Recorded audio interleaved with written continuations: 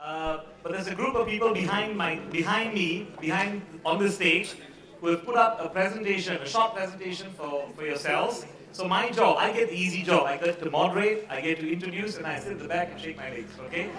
So what you're going to do is, uh, I'm not sure when the curtains are going to open.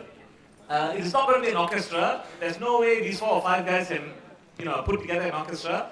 But they're going to perform some numbers.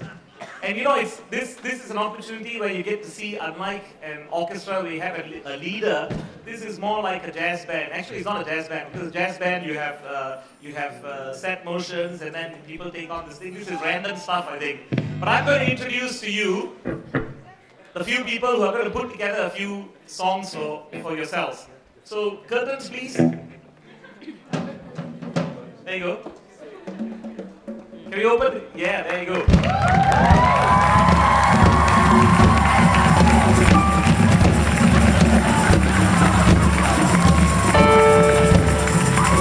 On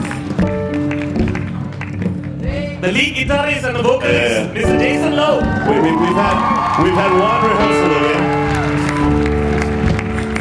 One rehearsal. Okay.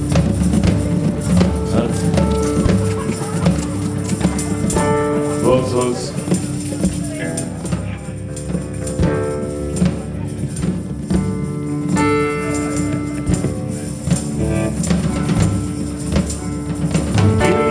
second, I need to get my story straight. I've been turning the bathroom again, higher than the Empire State. My love, she is waiting for me just across the bar.